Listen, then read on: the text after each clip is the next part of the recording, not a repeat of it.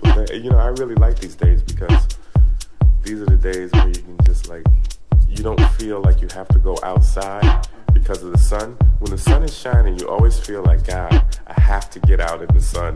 You know, it's a shame I'm sitting inside and it's so sunny outside.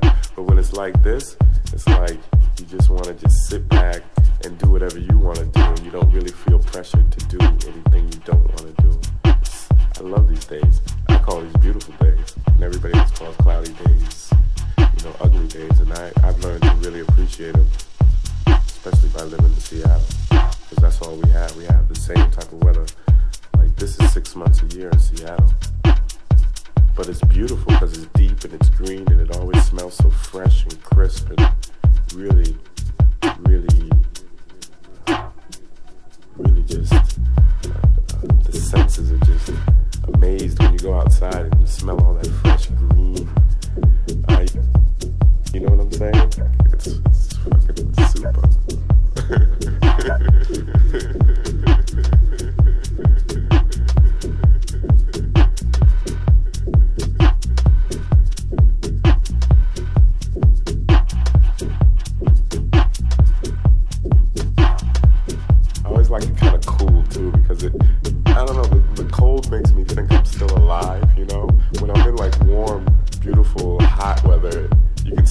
feel like all ugh,